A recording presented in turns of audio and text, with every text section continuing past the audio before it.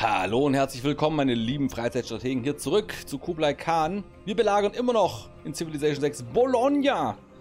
Und jetzt haben wir inzwischen endlich mal schweres Gerät am Start. Aber bevor wir das einsetzen können, müssen wir noch ein, zwei andere Dinge tun. So, ich mache jetzt hier nochmal ein Handwerk, den kann ich auf jeden Fall auf lange Sicht brauchen.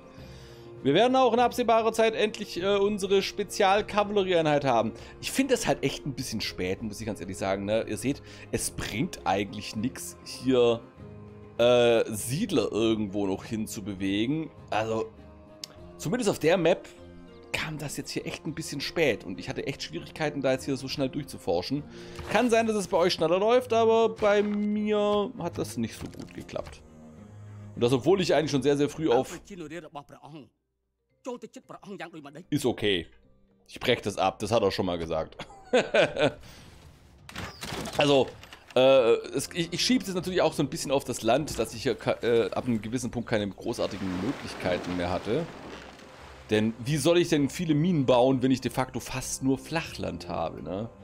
Das ist so ein Thema, das, äh, vor dem man sich nicht so ein bisschen äh, so ohne weiteres verstecken kann. Gehen wir mal dahin. Du gehst dahin. Und wirst in der nächsten Runde feuern. Du feuerst hier noch in diese Runde drauf. Hallo? Boah, wie ich das hasse. Ich kann auch einfach Rechtsklick machen. So, dann gehst du... Warte mal, wo kannst du noch hingehen? Du kannst bis dahin gehen. Du kannst... Komm, ich schiebe jetzt beide einfach mal da drauf. Und jetzt sind die hier zusammen. So, die Speerträger können jetzt angeblich ihre volle Kampfkraft einsetzen, laut Beschreibung. Euch tue ich hier nochmal kurz einfach regenerieren lassen. Dich überspringe ich an der Stelle hier einfach. Du kannst auch nur übersprungen werden hier an der Stelle. Und die nächste Artillerie ist auf dem Weg. So. Wahrscheinlich wird aber schon eine reichen. Dann würde ich mal sagen, bauen wir noch das Monument. Lange, lange war es nötig. Ach ja, Sibirien. das ist, ich weiß gar nicht, warum ich das überhaupt gemacht habe. Einfach aus Stylegründen, wisst ihr, weil es einfach passt.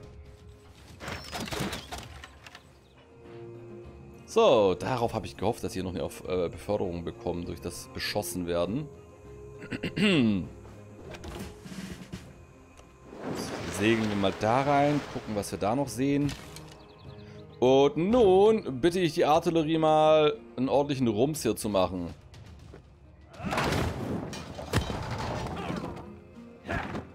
Das sieht doch schon mal nach ein bisschen was anderem aus hier. Du gehst jetzt hier raus, du gehst jetzt da rein. Gut. Überspringen das hier. Den können wir jetzt upgraden. Kampfstärke gegen Kavallerieabwehr, Kampfstärke gegen Angriff. Genau, Kampfstärke beim Angriff von Ka Fernkampf- und Belagerungseinheiten. Genau dafür habe ich euch. So, dann werden wir uns Axu irgendwann auch nochmal wieder zurückholen. Wir bauen hier eine weitere Plantage rein. Wir müssen ja nicht überall solche Haine bauen, ne? Reichen ja jetzt erstmal zwei. Beziehungsweise, ich muss mal gucken, der Hain könnte da oben ziemlich OP sein. Es sei denn, es gibt keine Anziehungskraft im ewigen Eis. Das ist etwas, was ich definitiv an der Stelle nicht vorhersagen kann. So, äh, du feuerst. Weil, ist so. Zack. Ich glaube, das war die letzte Verteidigung. Weitgehend. Jetzt schießen wir da nochmal drauf. Okay, kann ich da jetzt angreifen? Oh Gott!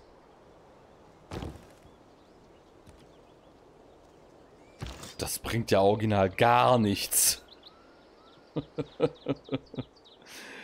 Die machen ja hier echt nichts. Also ich bin gerade schon echt ein bisschen enttäuscht. Ja, warten bis der Kollege halt da ist, ne? Stück für Stück rücken wir vor, jetzt hier. Gehen hier in Bereitschaft, warten hier auch noch. Ich gucke mir das nochmal an. Der Rambock, ne? Von der Beschreibung her für Speerträger. Gucken wir nochmal. Also, Rambock. Unterstützungseinheit der Antike. Wenn sie neben einer Stadt platziert wird, fügen angreifende Kavallerieabwehreinheiten, was ja Speerträger ist, sind, der Stadtmauer den vollen Schaden zu. Aber halt nur der Stadtmauer, wie ich gerade sehe, ne? Nur der Stadtmauer, dafür sind wir eigentlich schon zu spät. Äh... Komm, ich greife jetzt einfach mal an. Jetzt habe ich ihn extra hierher gefahren. Hat halt die Hälfte meiner Männer gefressen hier, ne? Hier könnt, könnte ich jetzt theoretisch dasselbe Spielchen spielen, aber damit warte ich noch so ein bisschen.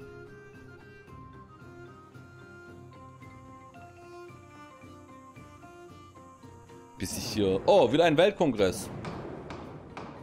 Dieses Mal habe ich ein bisschen mehr Political Power am Start. Ach ja, Luxusgüter. Haben wir ja nicht. Äh, das gewählte Luxusgut macht keine Annehmlichkeiten. Kommt, Gewürze habe ich definitiv nicht. Wählt ein Ergebnis für die Resolution. Verdiene Doppelpunkte bei großen Persönlichkeiten. Hätte ich ganz, ganz gerne. Großer Wissenschaftler. Mehr mache ich nicht. Das sind noch keine wichtigen Entscheidungen. Okay, es gibt keine Punkte für große General. Finde ich okay. Keine gibt es für Salz. Das ist natürlich das, was ich bekommen hätte. Der Himmel hat die Bewohner von Bologna die Augen geöffnet, sodass sie sich dem treuen Anhängern der Ziegelreiter anschließen, obwohl äh, der Ziegenreiter anschließen, obwohl sie momentan im Krieg mit der Mongolei sind. Was? Ich habe sie bekehrt. Na, das ist ja mal quasi schon mal ein Start. Okay. Dann schießen wir nochmal drauf. Bumm. Gehst jetzt hier mal weg. Wir werden eine Weile da jetzt drauf schießen müssen, glaube ich.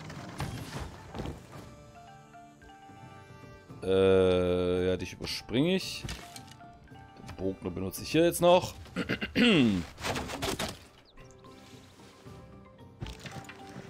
Es lohnt sich noch nicht hier anzugreifen. Nee, wir warten hier noch. Oh, ich kann hier nochmal ein Dingens setzen. Ah, nee, kann ich nicht, darf ich ja nicht. Es ist ja... Oder nee, warte mal, ich muss gucken. Ist das überhaupt von der Anziehung her? Es ist von der Anziehung her leider, aber hier kann ich das machen. Von der Anziehung her darf ich auf das... Ich kann es ja immer sehen, ne? wenn halt Glauben entsteht, dann darf ich es nicht. Oder sollte ich es besser gesagt nicht. Gott, hier gibt es überall Eisen. Das ist ja echt Eisen City hier. Und was habe ich hier? Boah, Nahrung. Immerhin. Aber trotzdem. So, was machen wir denn hier noch weiter? Ich will mal gerade eben mal gucken, wohin breiten wir uns eigentlich gerade aus? Ich verstehe nicht, warum wir uns dahin ausbreiten und nicht dahin.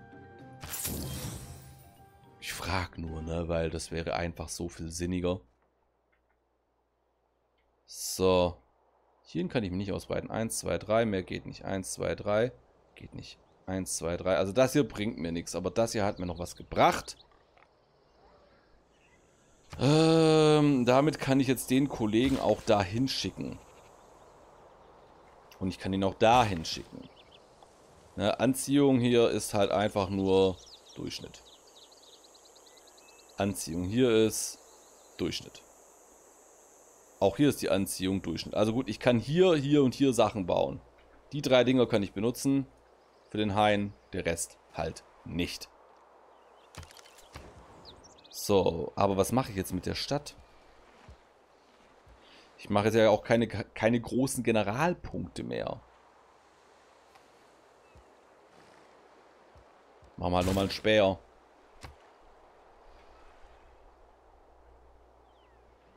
Und vielleicht nochmal einen Siedler nachher.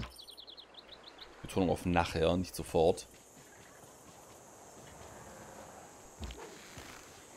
So, da, da. Jetzt haben wir hier die Position bezogen und feuern uns aus allen Rohren, naja, in dem Fall eher von allen Katapulten aus, auf die Stadt. Die wird jetzt hier gleich keinen Spaß mehr haben, wenn wir eine Weile drauf halten. Vor allem, weil die Städte dann ab einem gewissen Punkt sehr viel mehr Damage bekommen.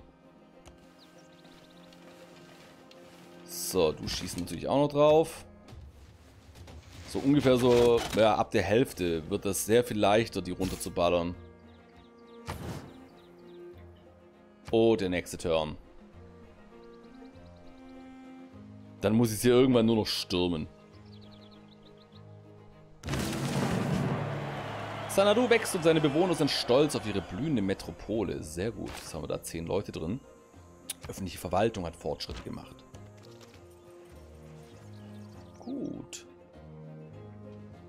Ähm, du kommst jetzt da drüben hin. Ich bin ernsthaft am überlegen, diese Dösbaddel hier aus der Truppe zu lösen. Ich zieh mal dahin, dass die da raus können und die da, da rein. Ich will erstmal nochmal schießen, bevor ich den Level Up hier mache, ne? Der muss warten.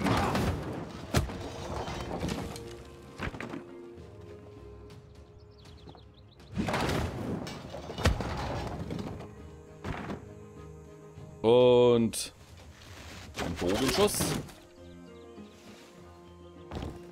Jetzt kommt der springende Punkt. Ne? Ich könnte es hier mit der Kavallerie nochmal ranreiten. Das hat auch nochmal ein bisschen extra Schaden gemacht. Aber hier kann ich jetzt halt nicht mehr ran. So, wie gesagt, das hat große Fortschritte gemacht. Das hier hatten wir auch jetzt schon. Zwei Turns hier. Er ist jetzt da. Baut jetzt das Teil dahin. Ja, dich überspringe ich. Du kommst jetzt auch in die Nähe von der anderen Seite. So wie es ursprünglich geplant war. Die schicke ich nachher hier noch einen Schritt hier rüber.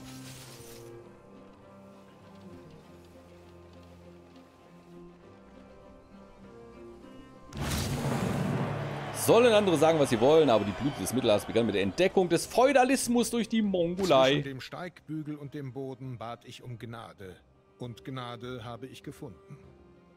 Es ist vollbracht. Mit dem Feudalismus wuchs dem Menschen eine eiserne Rüstung, bis er im Kampf irgendwann einem Gürteltier glich.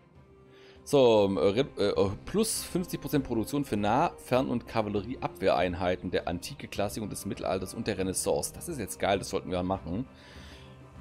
Äh, neu ausgebildete Handwerker erhalten plus zwei zusätzliche Ausbauaktionen. Und Bauernhofmodernisierung erhalten jetzt plus eins Nahrung durch jeweils zwei angrenzende Bauernhofmodernisierungen. Das wird ein bisschen schwieriger. Äh, ich bin echt am überlegen, ob ich durch die Regierung wechsle hin zur Autokratie. So, das haben wir jetzt gemacht und wo ist das hier? Wo für, nee, schwere, leichte Kavallerieeinheiten? Nee, nee, nee, wo ist es denn? Da. Das da rein. Wir sind jetzt halt ein bisschen mehr kriegerisch als ursprünglich. Aber die Not macht halt nicht nur erfinderisch, sondern manchmal auch aggressiv.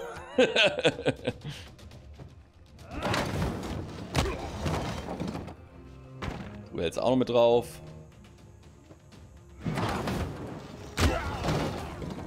Das war schon mal ein heftiger Treffer.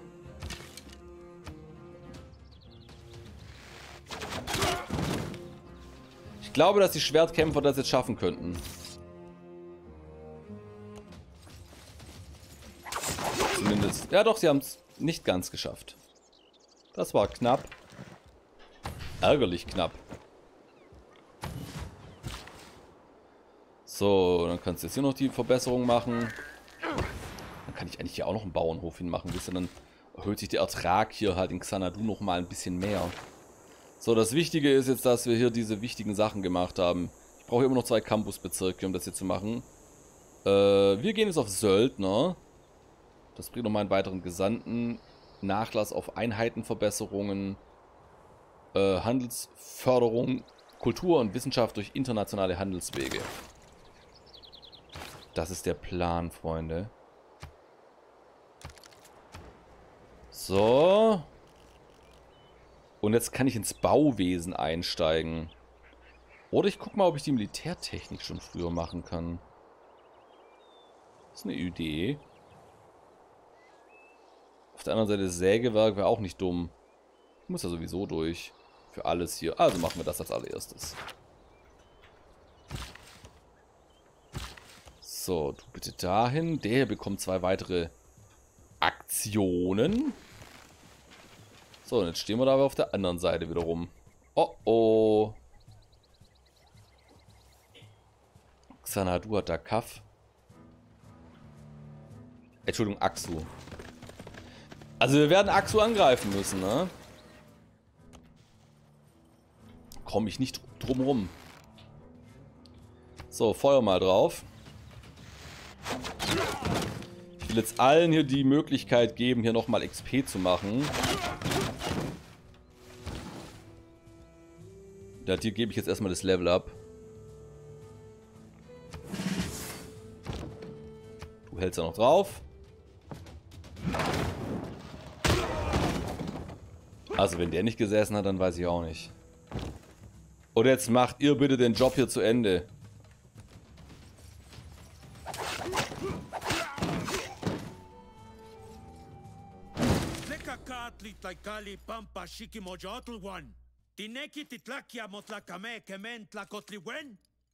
Mann, ist der leicht zu triggern, ey. Ich sehe schon, wir werden mit ihm Stress bekommen. So, wir haben die Ausrichtung Geschichtsaufzeichnungen verbessert hier. Die Stadt werden wir natürlich behalten. Und damit... Ja, erstmal das Monument reparieren, würde ich sagen. Jetzt geht es hier drüben weiter. Viele meiner Truppen dürfen jetzt hier erstmal regenerieren. Du bleibst hier gerade eben nochmal ein Törnchen. Du gehst dahin, machst einen Bauernhof hin und du machst da noch einen Bauernhof hin. So, das hat die jetzt hier alle sehr, sehr stark verbessert, würde ich mal behaupten. Guck mal, eigentlich müsste sogar der hier verbessert sein. Bin mir nicht ganz sicher, ob das jetzt hier so geklappt hat. Theoretisch könnte ich ja auch noch einen Bauernhof hinmachen. Ab jetzt können wir aber auch hier andere Dinge machen. Ein Diplomatenviertel. Gibt mehr diplomatische Gunst, mehr Gesandte. Brauchen wir das wirklich als kriegsführendes Volk? Ich sage nein. Wir brauchen aber auch mehr Annehmlichkeiten. Das heißt, dass sowas wie ein Theaterplatz hier mal echt sinnvoll wäre. Das hier wäre ein ziemlich guter Theaterplatz.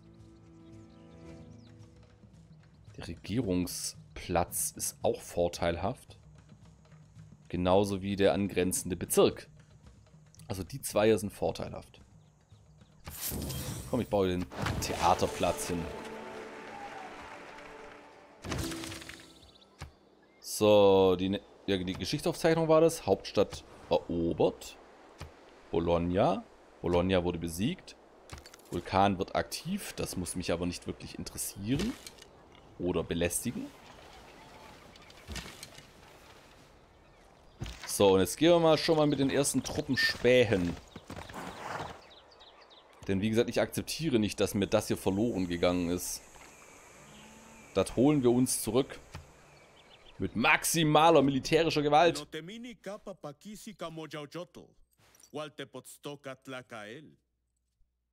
Ähm. Der Vogelmann ist bipolar. weiß nicht genau, was ihn antreibt. Aber es ist äh, sicherlich nichts Legales. So, du gehst da runter und spähst das hier schon mal aus. Du kannst tatsächlich auf den hier schon mal schießen.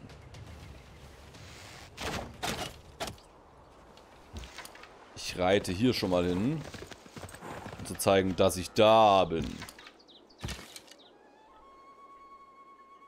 Hm. Ihr könnt auch noch ein Level-Up machen. Kein Malus beim Kampfstärke oder Fortbewegen durch Angriff durch Meer oder Fluss. Jawoll. Marinesoldaten.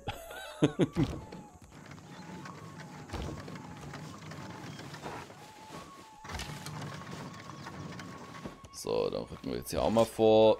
Ich will, dass jetzt hier erstmal alle reingehen und so schnell wie möglich sich erholen von ihrem harten Los. Die hat auch noch ein Level Up.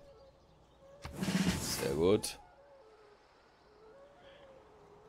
Jemand hat eine Sondersitzung beantragt. Oh Gott, das ist garantiert so eine Notfallsitzung gegen mich.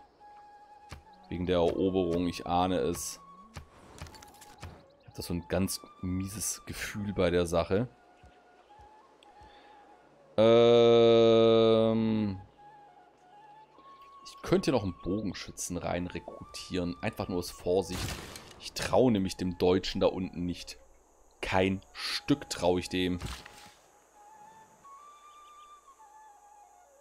Ich gucke gerade eben, kann ich hier nochmal ein Stück Land kaufen? Kann ich.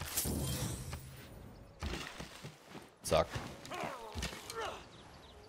So, guckt mal, wie ich jetzt hier tatsächlich äh, massivst für Nahrung gesorgt habe. Äh, warum ist da keiner am Start?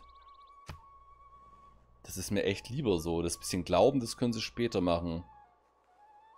Aber das hier soll auf jeden Fall gemacht werden. Das hier sind die Pflichtfelder, Freunde. Die absoluten Pflichtfelder, da wo Nahrung gemacht wird. Ich finde es halt witzig, ne? Dass die Leute hier für so chillen hier de facto äh, mir was produzieren. So. Der Bogen ist fertig. Da kann ich nicht angreifen. Den Bogen bewege ich dahin. Den kann ich nicht weiter bewegen, leider gerade eben. Nächster Turn. Ich überbringe von Herzen meine Gratulation, dass euer Volk so produktiv ist. Cool. ich... Ui. Lol. Tja, meine sind besser, ne? Weltkongress, Sondersitzung. Es war so klar. Kürzliche Ereignisse erfordern die Aufmerksamkeit des Weltkongresses. Die Frage ist, wer würde da jetzt halt mitmachen? Ich glaube, der Deutsche würde nicht mitmachen. Wer würde da überhaupt mitmachen? Einheiten im Territorium, also gut, sie wollen halt jetzt quasi gegen mich einen Krieg erklären. Ziel Handelswege zur Stadtstaaten gewähren, plus zwei Gold pro Runde. Das... Also die Gegner haben plus 20 Loyalität pro Runde in der Zielstadt. Alle Mitglieder haben untereinander Frieden, offene Grenzen und geteilte Sichtbarkeit. Alle Mitglieder führen Krieg gegen das Ziel. Kann ich dafür sein? Verdammt. ich bin mal gespannt, wer mitmacht. Ich bin aber nur so äh, pauschal dagegen. Ich meine, ich würde auch gerne wissen, wer das eingereicht hat. Es wurde abgelehnt! Friedrich war auch dagegen. Der Khmer war dafür. Hat sich aber auch nicht so richtig ins Zeug gelegt dafür. Wie geil. Okay. Ich glaube, dann werde ich mich einfach mal um die Khmer kümmern, bevor aus ihnen die roten Khmer werden. Äh, ich möchte hier nicht ins... Ich, ich möchte hier nicht niedergeritten werden. Jetzt muss ich die Artillerie hier ran bewegen, ey, das... Das wird ätzend. Währenddessen hier meine Truppen eigentlich noch am Regenerieren sind. Eieiei. Mal den Schwertkämpfer hier rüber.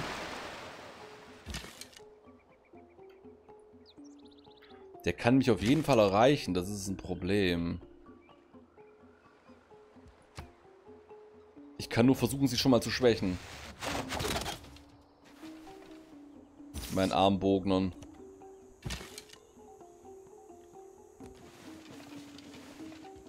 Bereitschaft. Äh, ich bleibe hier einfach stehen in der Defensive.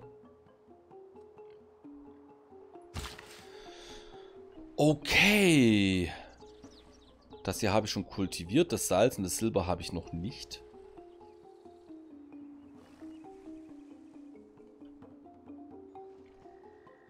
Das habe ich auch noch nicht geholt.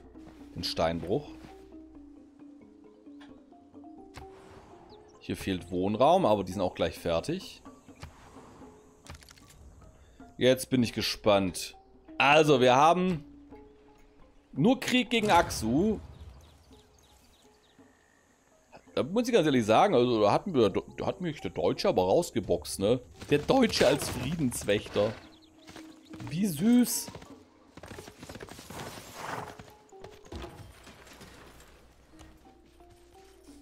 Ich Guck mal, was der hier alles so hat, ne? Will ich jetzt natürlich wissen. Dann schießen wir die einfach mal über den Haufen. Sehr gut. Äh, du gehst hier an Land. Dann reiten wir da mal hin. Habe ich hier noch mehr Reiter gefunden? Gehe ich dahin. Gehe auf Defensive. Bogenschütze hierhin, Artillerie hierhin, noch eine Artillerie dahin. Die gesamte Armee jetzt dahin zu bewegen, das wird ein Kraftakt wie nochmal was. Wassere ihn hier und gehe dann da an Land. Ja, Annehmlichkeiten, aber die wird es im ewigen Eis nur schwer finden, Freunde. Ich will echt gerade mal gucken. ob äh, ein Schutzgebiet kein geeigneter Standort. Ja, die haben da oben, glaube ich, einfach keine... Alles nur Durchschnitt. Ne? Das, das ahne ich jetzt schon. Durchschnitt und schlechter. Hier wäre was gewesen.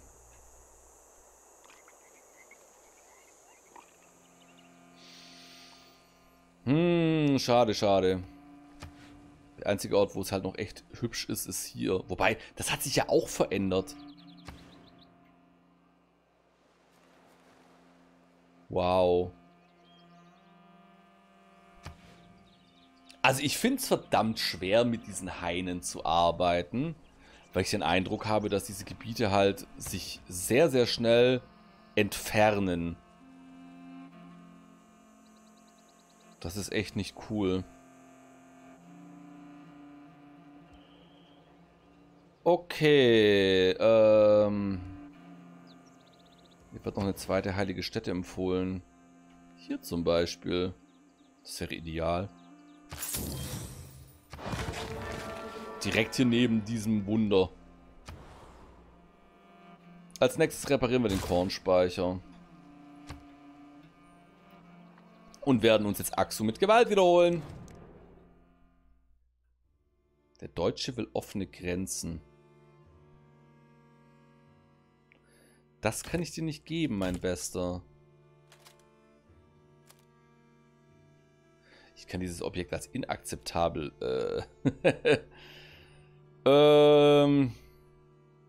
Nee, ich finde das eigentlich okay. Ich brauche ja irgendeinen Verbündeten. Jetzt habe ich die offene Grenze mit dem Deutschen. Der hat mich gerade rausgeboxt. Gegen die bösen, bösen Khmer. Autsch.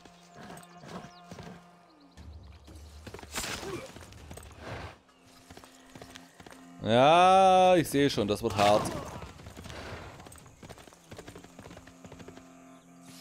Meine Reiter müssen sich hier zurückziehen. Schaffe mit dem Herzen, baue mit dem Geist. Das werden wir noch tun. Aber erstmal gucke ich mir mal an, was die Khmer hier so treiben.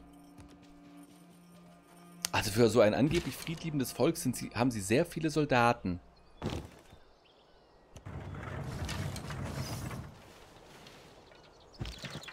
So, ich ziehe dich mal zurück zum Heilen. Ich ziehe dich mal ebenfalls zurück, aber erstmal will ich die hier ranmarschieren lassen. Wie gesagt, das waren bis jetzt nur Späher von mir, ne?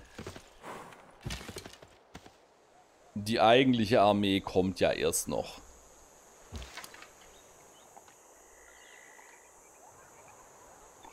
Ich muss die da an Land holen, weil hier sind sie komplett verloren.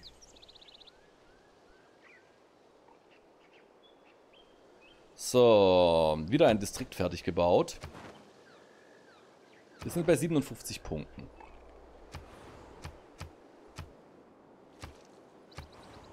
diverseste Naturkatastrophen. Oh, und ich sehe gerade eben, ich habe die Zeit vergessen. Tja, One More Turn ist mal wieder voll am Start, ne? Jetzt wollen wir uns die Armbrustschützen, Leute. Muss auch mal sein. Komm, das hier machen wir noch ganz schnell. Jetzt wird es Zeit hier für das Monument.